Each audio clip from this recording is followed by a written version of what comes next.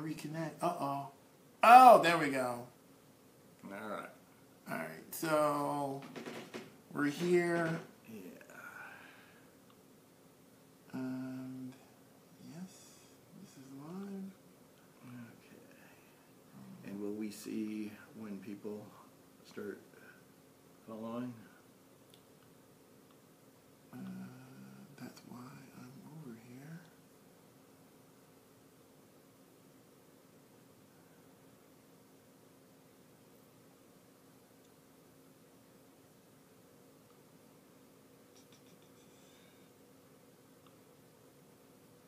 There we go. There we are. All right. Okay, so here we are. Uh, my name is Julian Chambliss. I'm professor of history at Rollins College.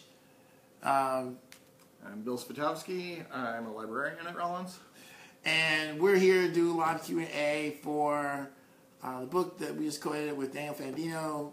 And that book is of course called Assembling the Marvel Cinematic Universe, right? So um, we are here to answer questions and talk a little about the origins of the book and the premise behind it. So I'm gonna be looking down constantly because I'm gonna be looking for people with questions and also ginning up attention for people. Um, so don't think like I don't care. It's because I have to do. I, wow, thanks, thanks. This is this is our relationship, knife and back all the time. Um, so thanks for that, that demo. I appreciate that. Um, so um, Bill is gonna start off talk a little bit as I gin up uh, people's attention here. So like, go Bill, go. All right. Um, so uh, the origins of this project, uh, uh, years ago, Julian and I uh, taught a, uh, a class on comic books and American history, which we've done a number of times uh, since then. But we taught I taught this class, and we really wanted a sampling of different perspectives on comics, different periods of comics history, different disciplinary approaches and went looking for a collection of essays in that vein, and there was none. So we decided we better create one, and that led to our uh, first uh, collection of uh, edited essays, which was uh, uh, You Ages of- forgot. I'm just- Ages of heroes, eras of men, superheroes in the American, American experience. so of course we were able to, to, to do this in part because we were participating primarily I was participating in the Rollins conference course, which is a course that every freshman, first year student at Rollins has to take. This is a course that's open to the expertise of any faculty member. And when they asked me, I said, Well, I can do anything, right? And they said, Yes. I said, Anything? And they said, Yeah, anything. And then I turned to Bill and said, We're going to do a class on comic books. And I told them, and they were like, No, that's not what we meant when we said anything. But we won them over because the class was, in fact, quite engaging. As Bill said, when we were playing that class, we did not find what we thought would be obvious to find at some level a collection of essays that would be great in the classroom for a 15 week semester course that dealt with superheroes. So we decided to to make that uh, after we taught the class really for the first time because we felt like this is an obvious thing. Um, and for those of you out there who who ever done the job of editing a volume, you realize how foolish we were when we we started this project. But nonetheless, we were committed, and so uh, eventually that that collection did come out, and it was quite quite a good collection. And almost immediately thereafter, and almost in the midst of it coming out, a bunch of other collections came out. And it was actually kind of funny because it seemed like, well, we were just following the crowd, but arguably, we felt like, you know, the whole reason we were doing this was because we thought this was really important um, project for the classroom. Uh, so that that collection was successful, I would argue. Um, so that is one of the things that uh, drove the collection. And oh, we got our first question. So uh, I have a question for Jonathan Harwell. Thank you for asking the question, Jonathan. And Jonathan said, Black Panther is now in the cinematic universe spotlight. Which other characters, Marvel or otherwise, do each of you think deserve the head of time in the spotlight the most, or haven't yet um, had that? Wow. Um, uh, well, I mean, forthcoming is Captain Marvel, which is a big one. I think there's uh, certainly uh, Marvel needs to im- uh, improve its uh, representation of women in uh, comics, and, she, and she's a good character. Um, I'd love to see Moon Knight. Would not be a great character, right? Um, I think the character that, given the way the Marvel Cinematic Universe has sort of played itself out right now, um, in the movies, I expect to see a character like perhaps like Black Goliath be added on. In fact, he's the the character Bill Foster is going to be an Ant Man Wasp. I like to see more with the Falcon since he's the first African American superhero from Marvel. Um, in terms of like under underdeveloped characters you haven't seen yet. Uh, I'm really thinking about this in terms of like what the Marvel Cinematic Universe is. So I think I would like to see something around Project Pegasus. And those Oh, characters, yeah, right? yeah, yeah. That's that's something that would fit into the scientific framework of the Marvel Cinematic Universe. And you know, Marvel Two-in-One, um, that was uh, and, uh, the, the the that was a series that started the thing in the seventies. That was often centered around Project Pegasus, which was an energy project uh, run by the Department of Energy. Black Goliath was a recurring character there. The Thing was a recurring character there, and lots of characters um, appeared there. So part of the reason I'm answering this way is because I'm trying to think about how the Marvel Cinematic Universe is operating, and it operates on this emphasis of science as a foundation. They stretch that a lot, and I think this is one. Yeah, my chapter in the book is about how far that gets stretched, and Right, how they've uh, moved in more mystical directions. Uh, but that's a, a way, a conceit in the way they frame it uh, to make that that engagement work. So uh, I would say that that's something that I would I would think would make a lot of sense in the way they would approach things. But we'll see. Okay, we got we have another question from Michael Kennedy. Uh, thank you, Michael, for asking this question. He says. Um, superheroes have always connected reality and fantasy, but with such extraordinary special effects as the cinematic universe now offers, does that does that reality fantasy relationship have a new quality beyond the conjecture by comic book reading culture? That's a really good question. That's yeah, that's an interesting because I, I think for years comics had a, a niche that that movies couldn't fill. That comics could do things that special effects weren't up to handling, and there isn't much that CGI can't do in a relatively dignified manner on screen now.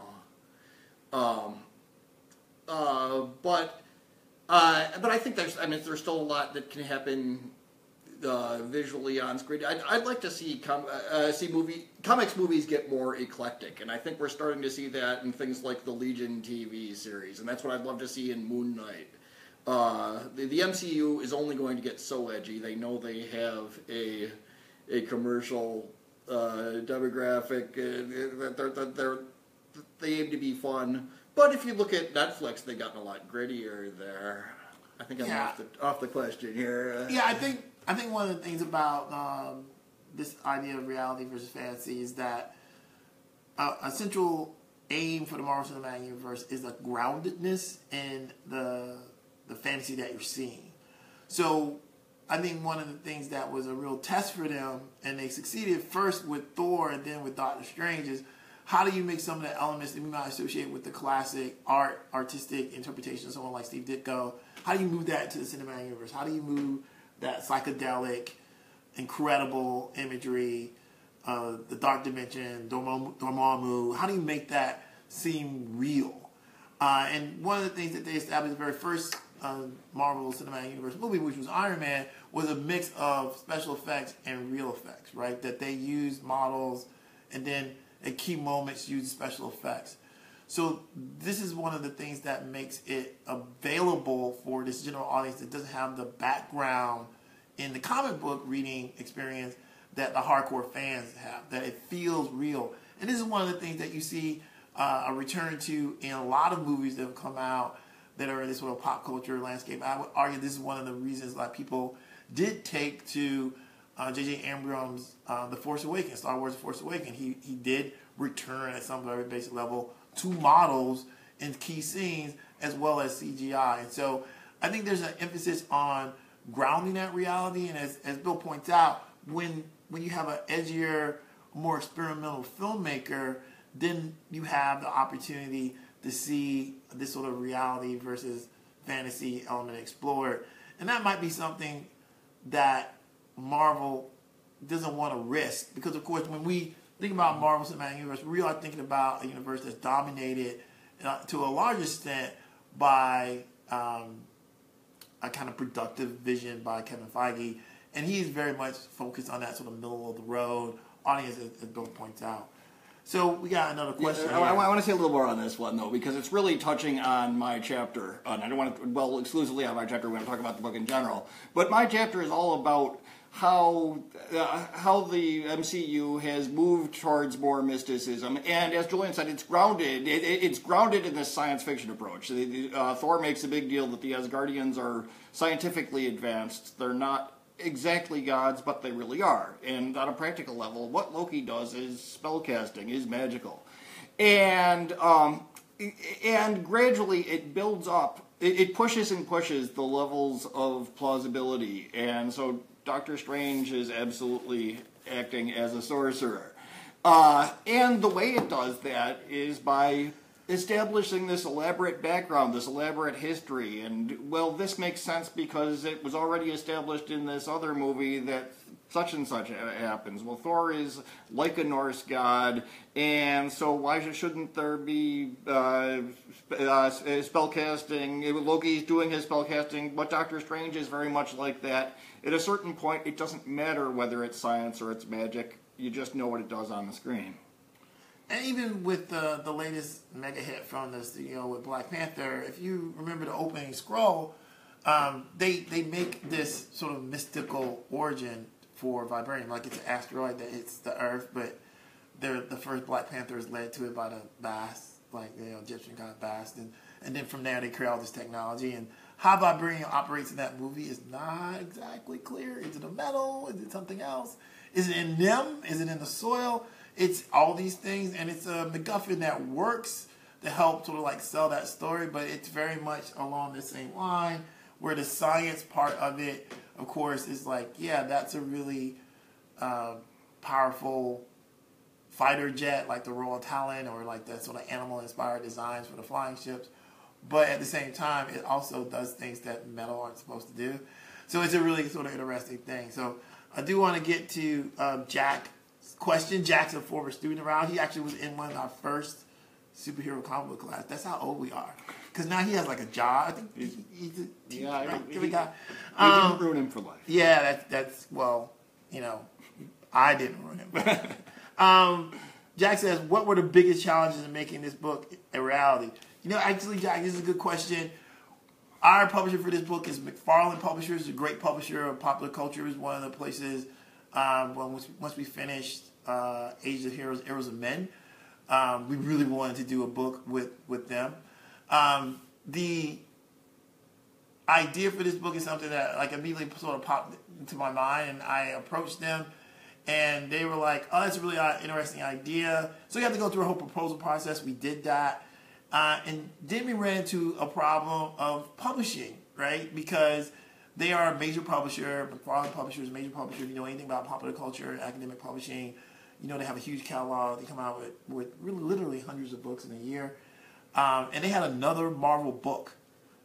And I should have known this because like I was writing a chapter on the Black Panther and I was like, where's this being published? I didn't really I was just writing this it was a comic papers like, oh yeah, I really want to write some Black Panther.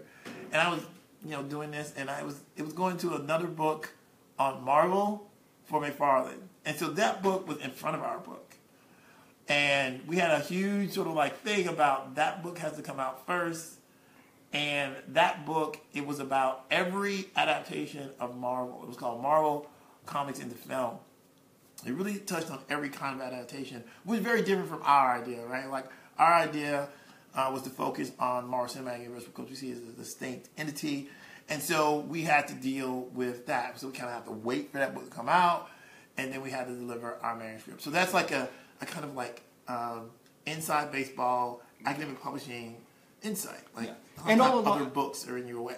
Yeah. And all along, we had to make it clear to the publisher and and clear for the audience of the book uh, how our book is different. That uh, it, it, this is not just about any movie that adapts uh, Marvel characters. That this is specifically about the Marvel Cinematic Universe, the product of Marvel uh, Studios. This interconnected series of books and of, of movies and television shows and various other media tie-ins, and how it's worthwhile looking at this as a distinct entity. It's not just superhero movies. It's not just Marvel superhero movies. It's a particular set of interconnected Marvel superhero movies. So we had a question from Marcy. Um, she said, "Hey guys, you mentioned originally looking for for this kind of collection for history class, a freshman, uh, first your first year multidisciplinary course. What kind of courses do you think assembling would be good for?" That's a really great question. Um, we always thought about this in terms of uh, humanities and social sciences courses. I think so. We always uh, advocate that these would this kind of book would be great for cultural studies courses, history courses, be very useful in sociology or English courses, um, and and those kind of courses. Media courses, yes, I think it would also be interesting in media courses. What do you? Yeah, yeah, yeah. I think uh, cultural studies, American studies. A lot of our American contributors are from those fields. Right, yeah. Uh, but between us, Julian's a historian. I was an English major. So we kind of cover those, those two pools from the outset. Were kind of our uh, focus. Uh, Julian's all about context. I'm all about text. And, uh, but we deliberately. That's right.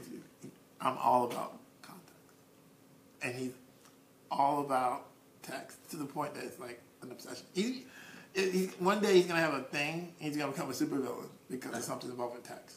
It's gonna happen. You heard it here first. it's gonna happen. Yes. Yeah, Yes. yeah. He's on a I- dark road. When we te- when as librarian, I'm usually Bill. When we teach together, I'm Professor S, which is uh, a- a good supervillain name there already.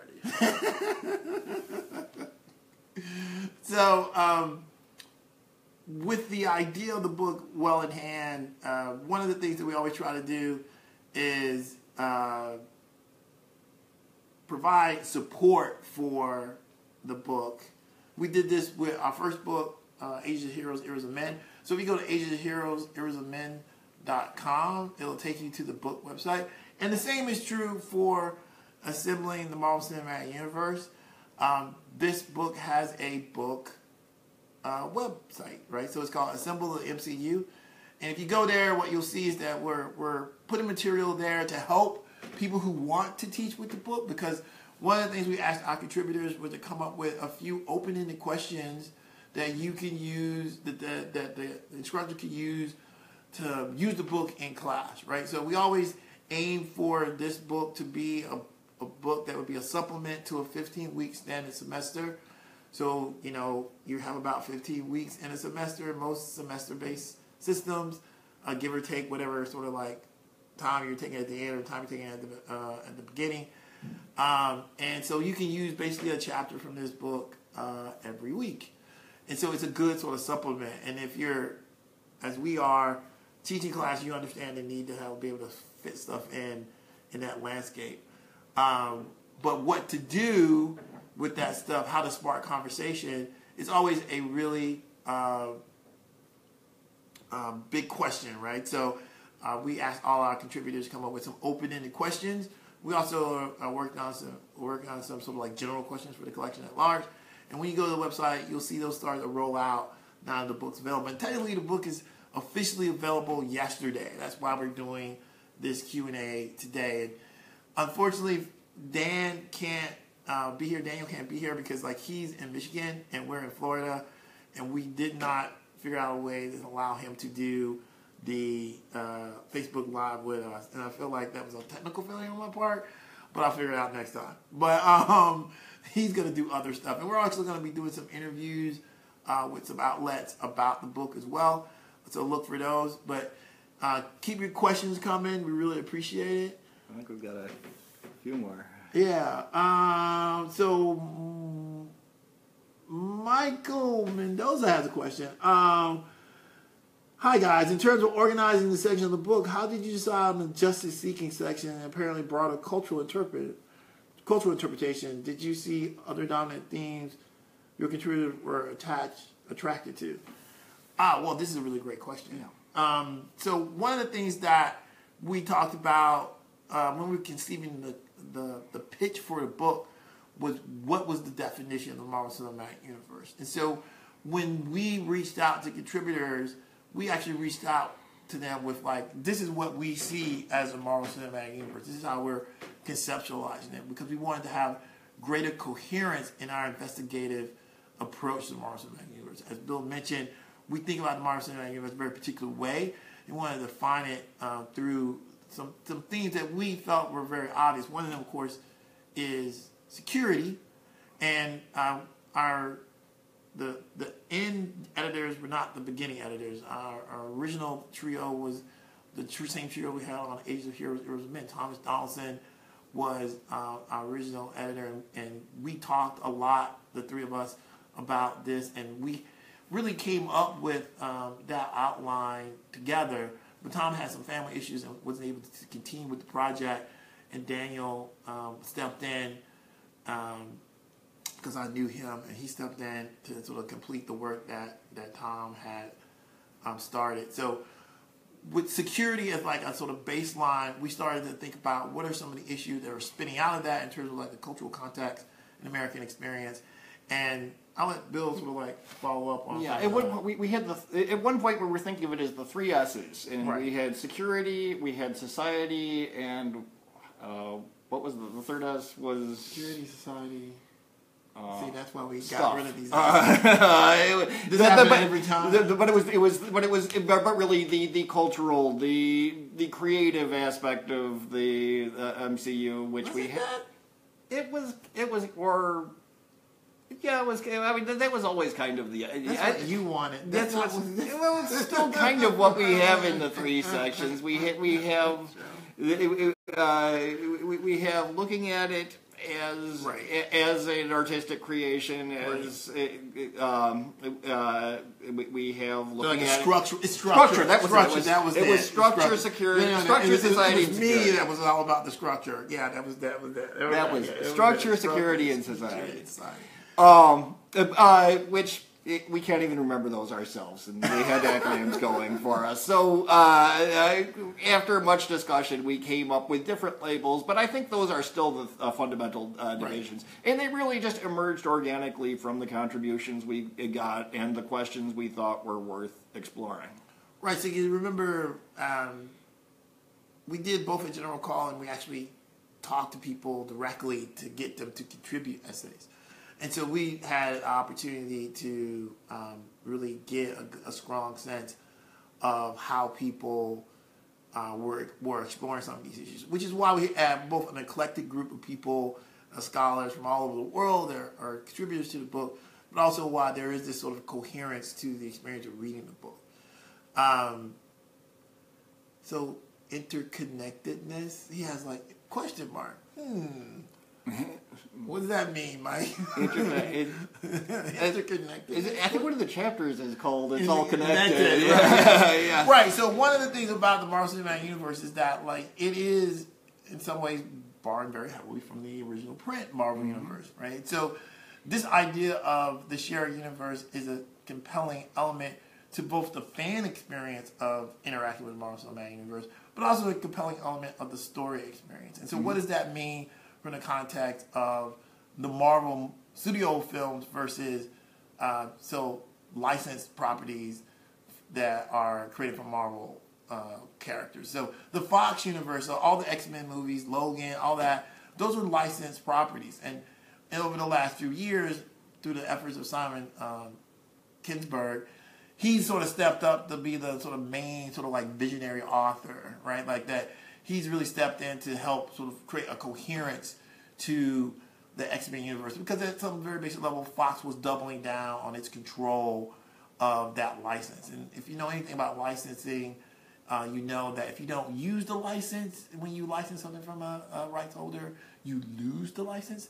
This is why uh, when the Marvel Cinematic Universe started, uh, they didn't have uh, the license to Daredevil or Ghost Rider, and then they acquired them because um, even though people unfairly say the uh, Ben Affleck Daredevil movie is the worst movie they've ever seen, I want to stress that the director's cut is actually good.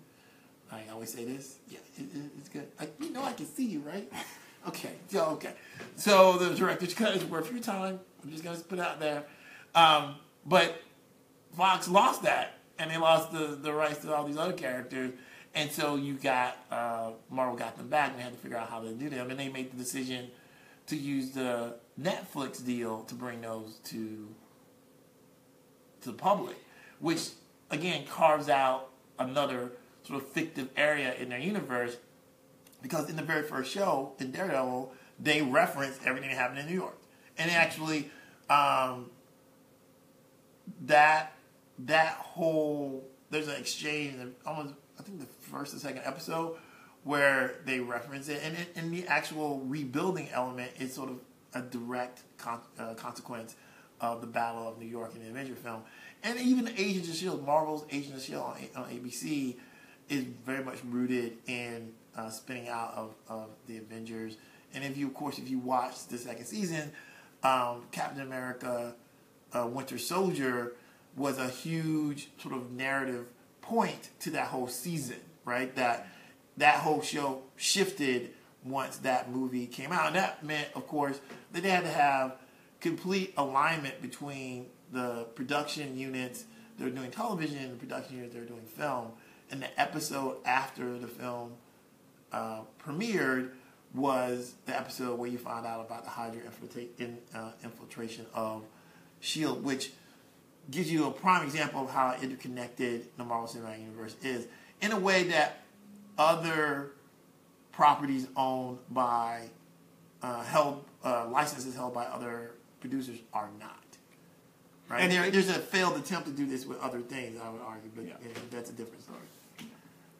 You want to talk about transmedia storytelling? Yeah, well, transmedia storytelling is is you know if you if you're familiar with uh, media scholar Henry Jenkins, he he's talked about um, the idea of transmedia storytelling, and what that means is, of course, that each individual platform has the ability to to tell a story, and that you can tell a story across these platforms in a sort of coherent way, and that for the the audience, for the user, they're absorbing the story that you're telling in the specialized ways that each platform will allow for that story to be absorbed. So um, I talked about this in class. This is part of the reason this came up because I, I gave a, a lecture on transmedia storytelling uh, and its antecedents in terms of like the, the student experience. Of course, one of the prime example of this is Star Wars.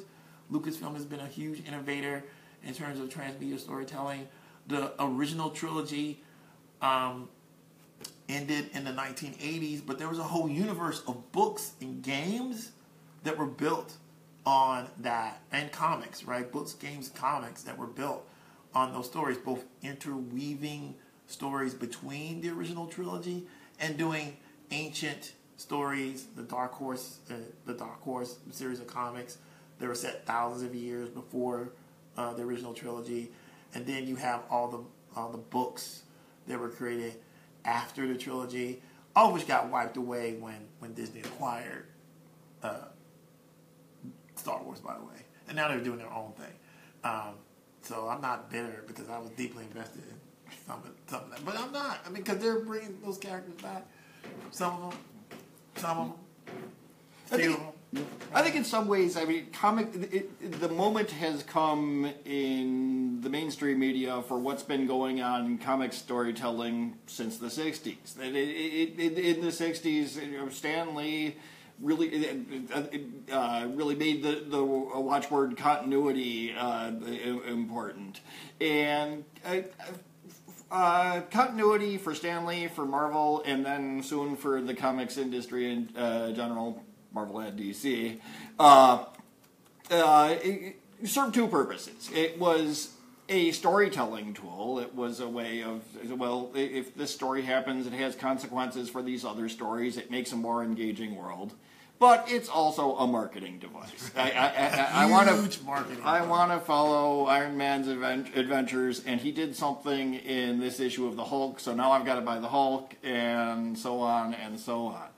And I think for Stan Lee, those were always inseparable. Stan Lee is uh, a, a, a pitch man. He's always about uh, marketing, and um, he's always out to maximize sales. But there's an assumption that the way to maximize sales is to tell an engaging story. Right. And and so I, I, I don't know why it took Hollywood so long to latch onto this strategy. Uh, the, uh, uh, but but I think I think the current media environment really made the benefits of that greater and more apparent that uh, there are there are not just the films there are televisions there's uh, the, the, internet there's uh, mobile streaming devices. mobile devices streaming all of these different ways that uh, the media are infiltrating our entire lives and to have Wow, this uh, permeating. How about permeating? That's a little less That's a little judgy. sinister, Uh, uh, the media are permeating our entire and this is what transmedia uh, storytelling does: is it just it creates this world that is just constantly engaging in so many different ways, and so this is this is. These are the characters. This is the universe with the most experience with that kind of immersive uh, engaging environment, which is very well suited for our media moment. Jack had an additional question, and I want to make sure that we answer it. He asked, like, you know, who's the audience for this book? I think, well, I mean, primarily the academic uh, audience. It, it, I'd say that they, they were our primary target. It, it has its origins in what we wanted to do in class, but I think uh, there are a lot of obsessive superhero fans out there who are intelligent and interested in exploring different directions of these characters, and I think we always had in mind that we wanted this to be a book that would have appeal beyond the academic world uh, while still having academic credibility. Um, with our first with our first book, uh, that was kind of our hope, and it was priced at ridiculous academic textbook pricing. And they've actually got a couple of uh, copies of it that have been sitting in my comic shop for years. I, I appreciate them giving the shelf space to us. Nobody's ever bought them because it's eighty dollars for a book of.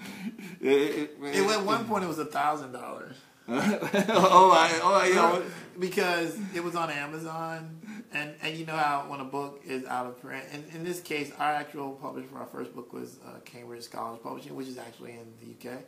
So it wasn't out of print. It just there wasn't a copy in the US. And so there was a reseller, and they were selling it for a thousand dollars. And I saw that, and I was like, "I'll sell you a copy for hundred, Yeah, right?" Yeah, that's deal. That's the market forces that work for you. yes. Uh, I agree with that. I think um, one of the things about um, all of all of our sort of books is that they they're very very much grounded in an academic narrative, right? Like a teaching. You know, we're a teacher scholar community here at Rollins, and so we're you're deeply engaged in how these these characters are part of bigger discussions about uh, humanities and, and, and American culture and global culture.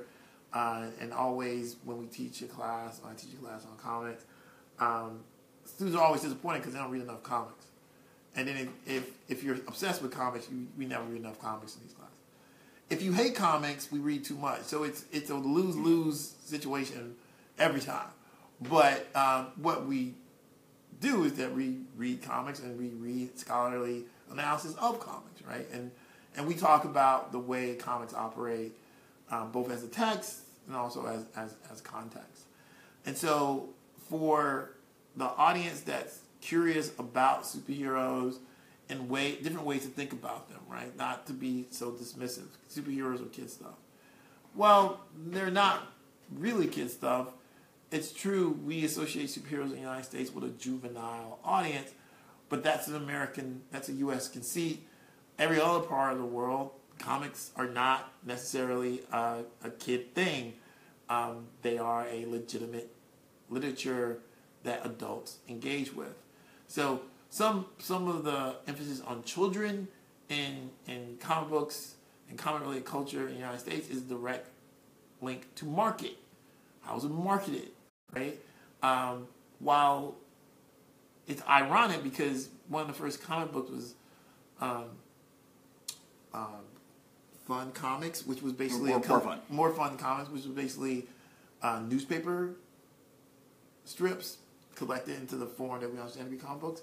And so when people talk about newspaper strips, they often don't think about them as kid stuff, but they are deeply they're drawn material, they're sequential art, uh, and there's always this sort of like odd dichotomy between um, the newspaper comic strip curator and the sort of political themes could be there, the sort of cultural commentary could be there, versus the superhero comic, which apparently for people, well, that never is there, and that's just that's just not true. That's a conceit of how it's contextualized. Ha! Context. Context, yes. Mr. Context. that'll, that'll be your super villain. Mr. No, no, no, no. Are you you you're going to be a hero? but I would say one of one of the strengths, one of the appeals to uh, our work is I think that we have been open to the kind of appreciation of uh, of comics that comes from fandom, while holding it to an academic standard. If you look at older comics scholarship, there tends to be a very condescending, very critical, uh, in a negative uh, sense, view of things. You know, the early scholarship on comics, there's a lot of uh, Superman is a fascist. So the whole idea of this Superman who is superior to people is fascist, and and it's you get the sense reading these things, these people actually haven't read a lot of the stories. They they are just approaching it from their academic theoretical framework and uh, from a superficial knowledge of the texts are are, are uh, casting judgment on it. And I think not just our book, but I think uh, comic superhero scholarship in general has slowly started appreciate eh, it start, slowly started incorporating the perspective of a generation of scholars who have had more positive experiences with these things, but also can see the negatives, can see the limitations, the the, the see these these social reflections and the whole range of uh, ideas expressed in there, positive and negative. And so I think it's it's scholarly work that fans will find some meaning in. So uh, we're getting about the half hour mark, and want to remind people that we're doing a Q and A here with myself, Julian Chambliss, professor of history at Rollins College, and say your name.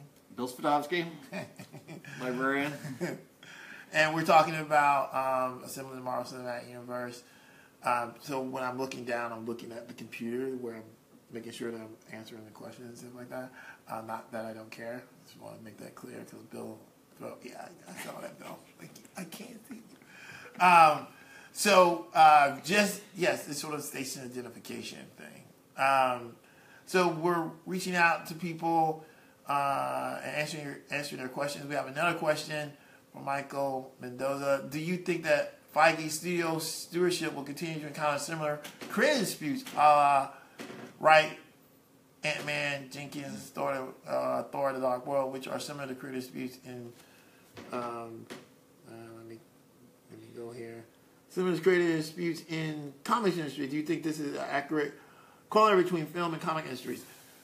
I actually think that this will continue to be a problem, but it's not like the creative disputes in the comic industry. And what I mean by this is, um, in the history of Hollywood, uh, producer firing director, huh, unheard of? No, not at all. What's interesting here, of course, is that, you know, in some ways, Kevin Feige is on an unprecedented run of success associated with the Marvel Cinematic Universe. And much like the Marvel Comics print, right, print universe, there is a, a committee that is sort of like driving this narrative, right? Like they're they're planning out this narrative in a collective manner, uh, and they have writers that they go to over and over again. But they're they're clearly um, thinking about this in terms of like what are the next steps in these phases, what are the characters that we're we're going to to use, where are we going to use them. This is why.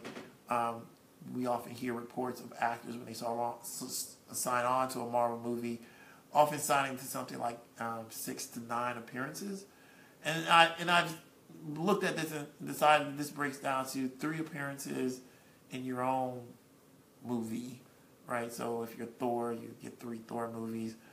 Um, three appearances in some other movie, which is like you, you pop up in something, and then three appearances in something that's like line wide, like you, you're in an Avengers or something like that. And I mean, I'll be everything, but I think it it, it it's a pretty accurate um, description of, of someone like Mark, Robert Downey Jr. Um, but you know, another char- other characters in the Marvel Cinematic Universe are clearly connective characters, right? So Nick Fury was the first connective character, and I would argue that um, Black Widow, Scarlett Johansson, is the second most connected character in the Marvel Cinematic Universe. And the connective errors are really, actually, really important in a shared universe environment. Like, so people will, I totally understand that people like, why does Scarlett Johansson have a movie of her own? But I would point out, look at the movies Scarlett Johansson has made, how much money they made, and go, if you're an accountant, go like, is this worth my money? Right? Like, that's not a knock on Scarlett Johansson as an actress or a human being or a woman. It's a it's a question about when does the return on investment hit, and that's never been talked about in, in, in terms of why she doesn't have a movie, and that's a huge thing for Kevin Feige, obviously, because he controls the budgets. He controls. He he he has a, firm control over this, and so having her as a connective character, though, is incredibly helpful. She she adds something to every film she's in that no one else can add. The same thing is true of Nick Fury. Yeah, it's really changed the whole model of movie stardom. That you don't have to be the central character of a single movie to be a star at this point. Um, and that's very different from how Hollywood has generally operated in its history.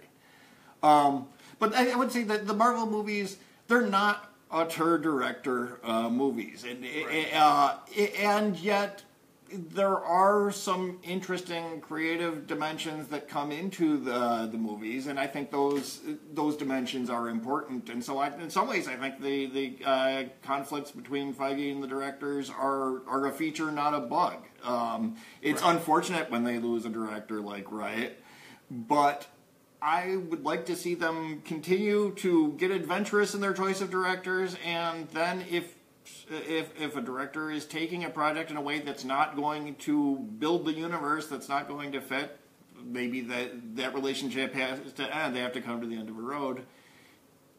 I would hate to see them give up. I would uh, uh, uh and only go for uh, by the book uh, uh, creators who are going to just give us an entirely predictable product uh, but I, uh, but I wouldn't want to see them go the, the art theater direction where uh, David Lynch produces a uh, movie uh, of Iron Man that's completely incomprehensible and has nothing to do with anything we know about any of the other Marvel characters. That's not going to. I love David Lynch, but uh, I'm sure it would be brilliant, but it wouldn't build a strong. I love David Lynch's universe. Dune, but I wouldn't want him to see he, yeah. him doing. Um, Guardians of the Galaxy. Um, I think Star Wars Star Wars is having this conflict right, right now yeah, with the Last yeah, Jedi. Is that it's it, it, does something very different than what we could think George Lucas would have done. But ironically, there the, the producer Kathleen Kennedy is perfectly fine with that. Yeah. Right.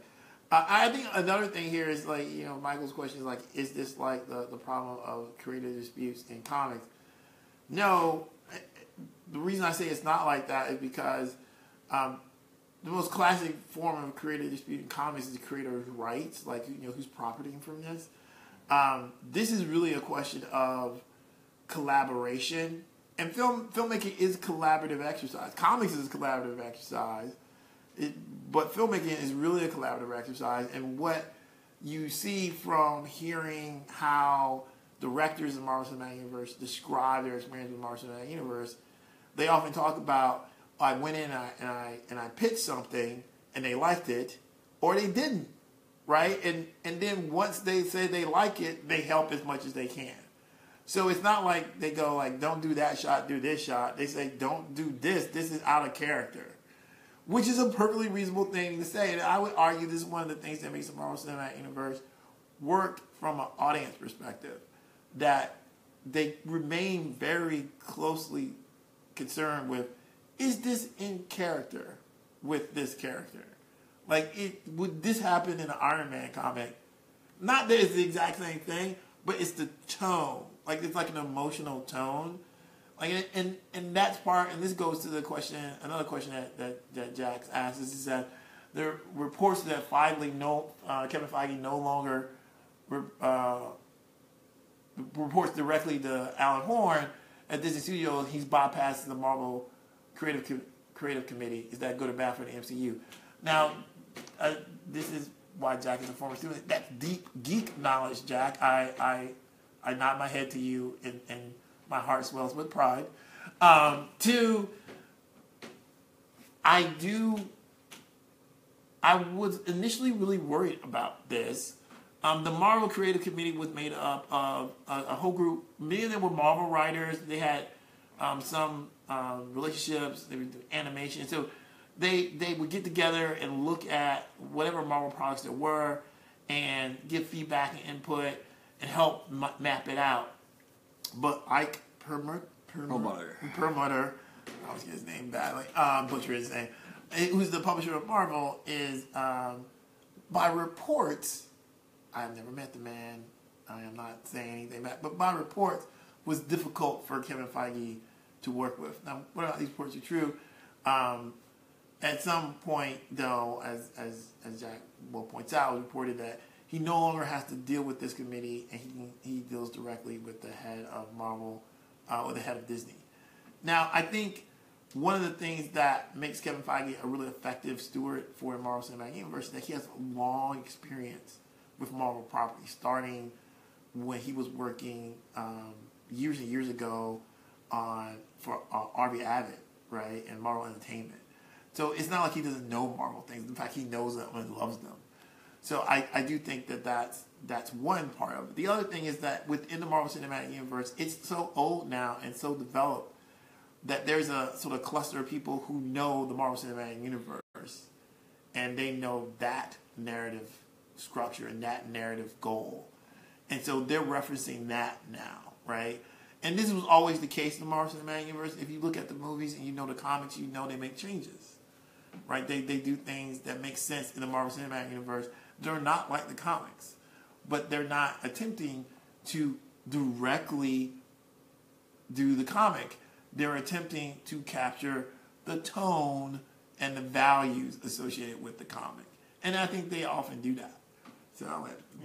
Yeah, I, I would say that one place where the Marvel movies do mirror the comics is the the idea of authorship. That uh, something uh, uh, comics uh, have done. Uh, in their earlier history, is to really obscure the idea of an author. That, that uh, it wasn't until the 60s that comic book writers and artists got any sort of credit in a comic book.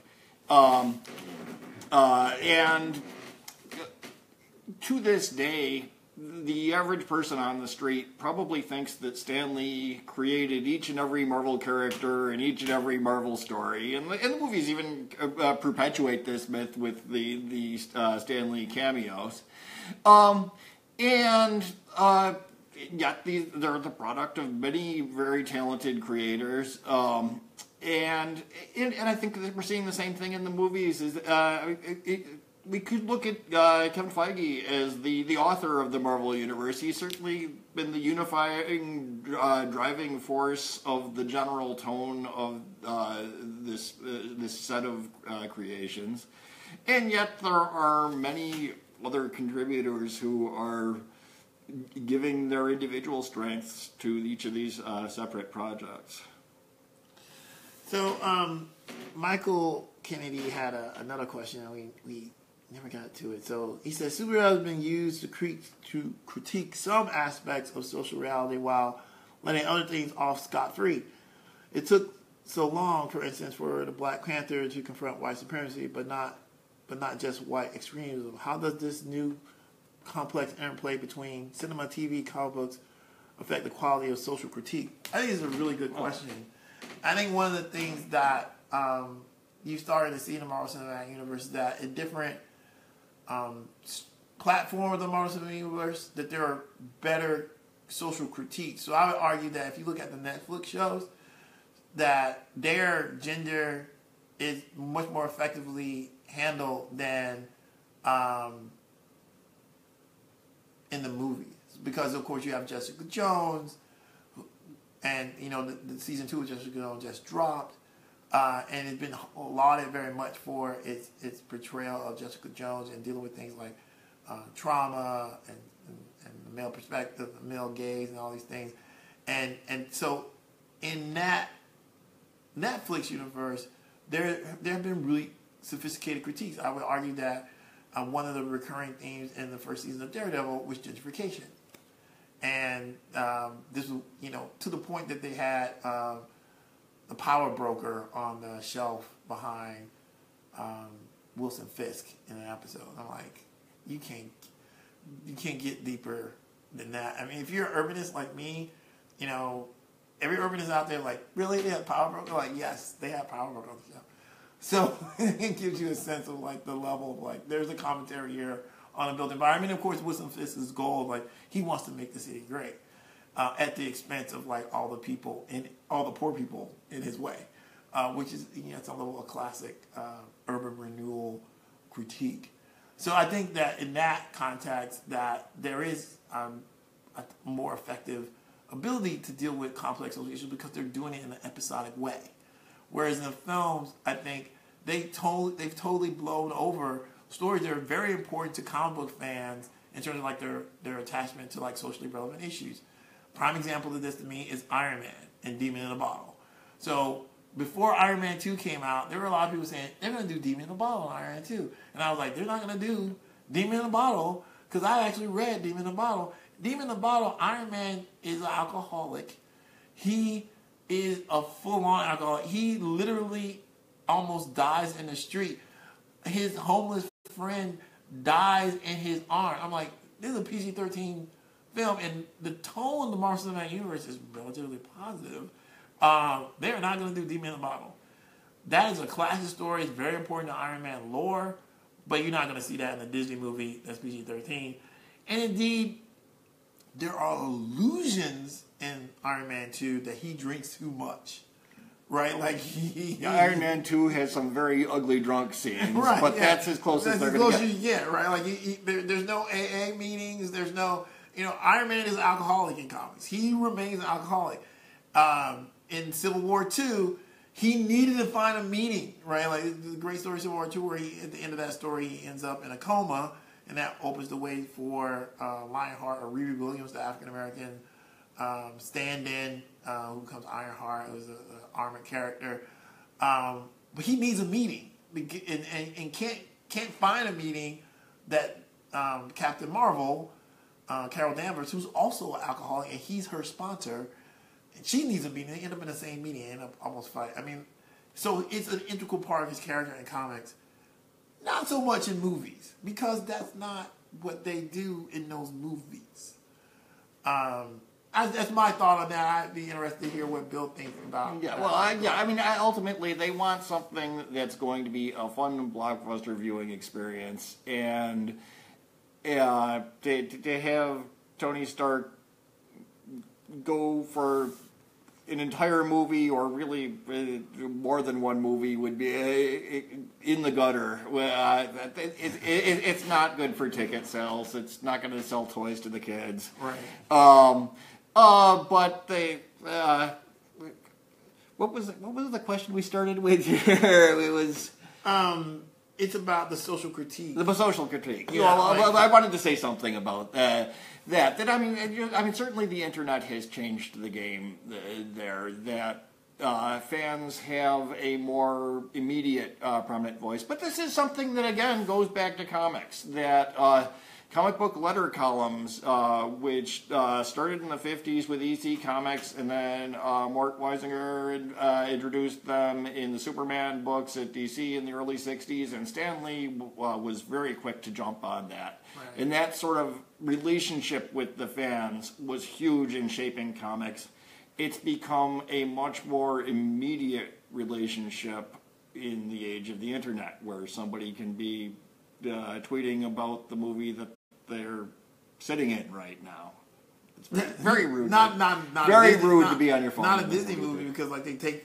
Well, at least at the premiere, they take your phones. That, well, they should. But, but afterwards, it's it's it's uh, an important thing. thing. Uh, we have a question about uh, Stan Lee, and it's like, um, have they created 3D models of Stan Lee? Will he be able to do his cameos forever? On the surface, this seems like a silly question, but it's a really good question, um, um, Meryl. It there is a company uh, called Digital Domain in Hollywood that has uh, they do 3D models of actors and they won't tell you who they're doing 3D models of, but it's it's a high definition 3D model of actors that could conceivably be imported into films. I'm, I'm gonna guess that Stan Lee hasn't done this um, because he's a, a older man and he's not really an actor. He's more of a showman and doesn't doesn't conceive of him his image being used in films later on. Um, but I would say some of these actors in, in these films probably have done it. I would say Robert Downey Jr. definitely has probably done it. Um, there was actually a story about this on Marketplace on NPR where they were, they were mentioning this, right? And we're rapidly getting to a place where uh, digital performances are, are incredibly important to, to modern film. Andy, Andy Serkis, of course, is a really important character, actor who rose to fame for his work on Lord of the Rings. All the motion capture work also in Planet of the Apes. It's only with the Marvel Cinematic Universe, ironically, that he's finally get to like show his face, right? Because he's Klaue. He was Klaue in Black Panther, uh, and then before in uh, Avengers: Age of Ultron. So I, I do think that for some of these actors, this is going to be a thing. Uh, of course, famously, this is about dead actors. This is primarily concerned about dead actors. I know I was personally shocked and amazed when I saw um, uh, Rogue One and looked and saw. I was like, "Holy, sh- is that They, they resurrected Peter Cushing for this. like, I'm like, that's a really good character actor, great makeup. But the more I looked at it, you know, one of the things about this is that when you do uh, digital enhancements, they did it in Blade Runner in 2049. Um, there's often this thing called the uncanny valley, where where you're looking at something that's digital and you know it's not real, right? This is why you become uneasy with it, and you so you know the the the logic there is like don't try to make it look human, make it look like a machine. It'll be easier. Um, yeah, like yeah, and Christopher Johnson like Uncanny Valley, Leia Yeah. looks off, right? Yeah. And then for that one, somehow it was probably easier to do with a dead person. I don't know why why that worked. I think she just de-aged Leia. I think Yeah. maybe, Yeah. I think I- maybe I- they did try to de-age Leia. Yeah, Um, Rogue One was a whole different conversation. right. I, I think it's the lighting in the Leia scene, actually, Right, but yeah. Uh, so yeah, I think this might be something in the future, but no, I would yeah. say no. Yeah, well, I, I think I, I I think Hollywood is an industry. I, I think they realize the tremendous threat that CGI faces to making all of them unnecessary, and I think this is something as a society. I mean, certainly librarians are worried about being replaced by Google, and uh, uh, Are you? Well, well, I mean, I, I, I think it, you know it, it's the, the the worries come and go over the years, and we've found new ways to find it. Now, this is, I don't need to go into the, the librarian spiel right now. With that, uh, well, The library is under threat. The library is under threat. no, we're still we're still useful, but because, but because we this because we've taken the threat seriously. Uh, but I think I think Hollywood is taking this seriously. Of if they can just uh, capture everybody's image and generate performances uh, endlessly, what does this do? Uh, uh, uh, why why why cast this living actor when Humphrey Bogart's available? Um, Yeah, it's. I, I, yeah, we'll, we'll, that's a rabbit hole. Um, I, I do think this is it, it's a legitimate question. I Yeah. I, I don't Yeah, know that yeah. the computer technology exists right now, but it's clearly on the road, Yeah. right? I mean, um, one of the things that they do do in in films now is they de-age people all the time, Yeah. and that's really interesting. Yeah, But and that's I- been, I do- that was great in Ant Man, where we could yeah, young, Michael Douglas. Douglas Young. Um, we well, have another question here. I, And- I, just want to go back for one second to, No. the, to the Stan Lee side of the No. question, and, and, No. and I think it's an inter- just an interesting question. How No. how are they going to brand themselves without Stan Lee? Um, I want CGI but Jack Kirby. You, Marcy asked, is there, you think Robert Downey Jr.'s substance abuse problem uh, made the, the, basically she's asking, do you think Robert Downey problem may also kept Iron Man's portrayal on those issues more subdued? That is a good, good point. Yeah, I you know yeah I think I think in some ways it allowed them to be more subdued because I think I think in some ways people who know anything about Robert Downey, Downey Jr. can read into Tony Stark some of the underlying issues of the character. Um, I, I, I, there's been so much just incredible casting in the movies, and, and and that all started with Robert Downey Jr., who practically is Tony Stark in so many ways. And, and, and, and, you know, and I, they got him at a low point in his career, where they, at, at a point where it was really kind of slumming to take a superhero role, and he changed the model. Yeah, I think I think part of the reason that he worked as Iron Man because like he had so such spectacular failures. He was really difficult to be insured, and they had to convince them to hire him. But he delivered, and that transformed his career. Um, and oh, I didn't think a performance could be sustained, but maybe a cameo. You're right. I think maybe a cameo can be sustained, but you know, at some level, he says stuff. I mean, it is a performance. They're usually not but that. the, the. Netflix things are incorporating Stan Lee without him doing live action the other things. There are certainly ways they could fit him in, and you, you know, at some point, Stan Lee could become like Mickey Mouse. Mickey Mouse rarely actually appears as a character anymore. He's become a logo, and uh, Stan Lee, his always made made his name a, a marketing point. I, I, I think it's it would be a fitting immortality for Stan Lee to uh, just be a little point of branding, and they could I, I could easily imagine them fitting in some sort of references with CGI or uh, whatever. Um, on, on the other hand, I personally would like to see. Stan Lee has gotten his share of attention for the Marvel universe, and he did. He's very. I, I'm not a Stan Lee hater. I think he, that he's done. He changed comics. He's changed movies now, uh, but there are other people worth giving credit to in these things too.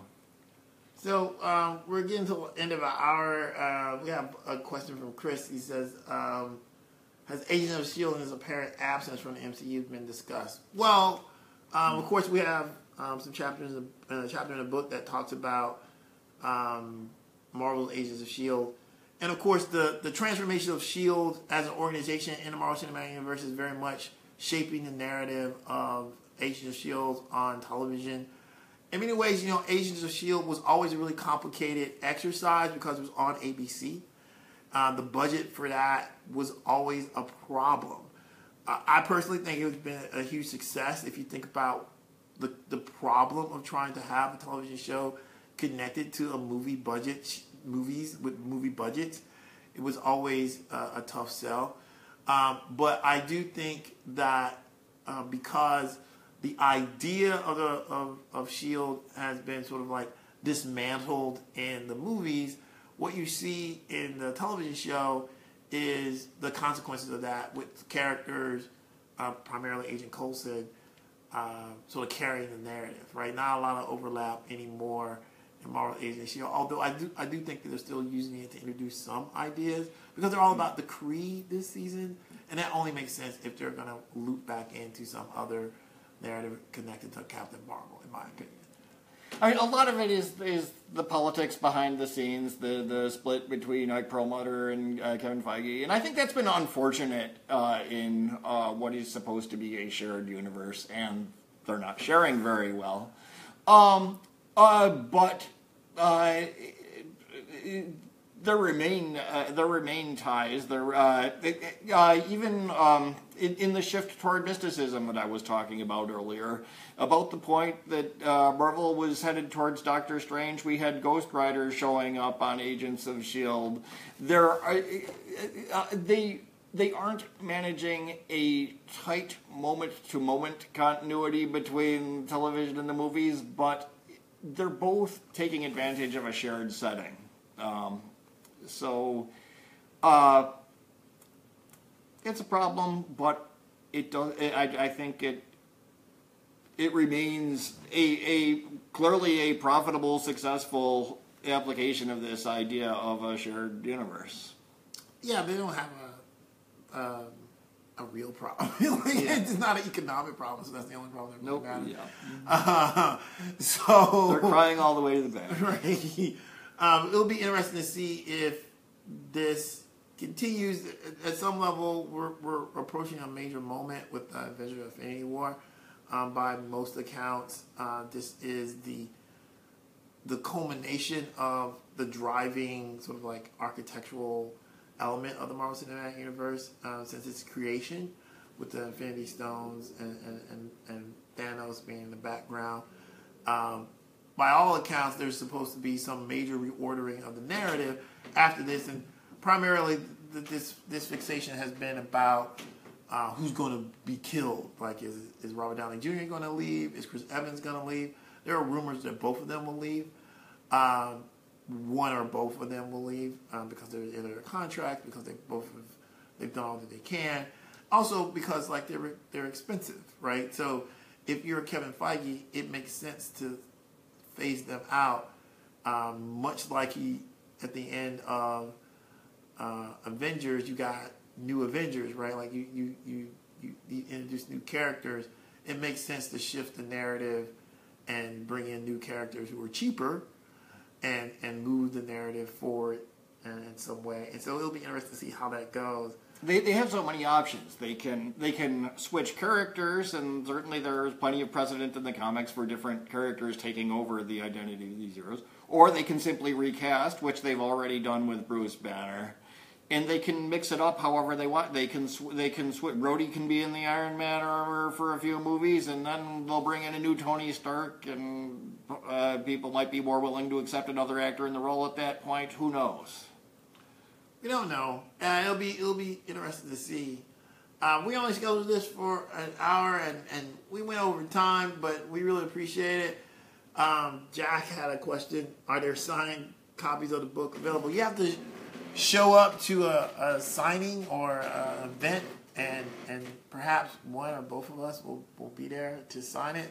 Uh, Bill's doing a a reading at Seminole State College, uh, doing a presentation of the Oviedo campus right. on March. March 22nd, I think. March it'll, be, it'll be on the page for the book. Yeah, uh, on March 22nd. Um, I'm out and about, uh, but I haven't scheduled anything uh, related to Assembly Marvel Magazine. Although I will be speaking at the um, Orange County History Center this Sunday, so I might I might take some copies of the book and and um, sort of like sign them.